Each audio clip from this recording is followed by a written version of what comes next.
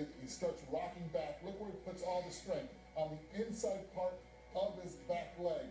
Now he thrusts that top part, his hands go back, his feet go forward, and then keeping his eye behind the baseball. You see him hit it, doesn't take his head off the ball, perfect balance. That's exactly what you want as a leadoff hitter, a hitter to get on base. He's not worried about the home runs. He knows those will come. But what he has done in the past week and a half hitting everything with consistency.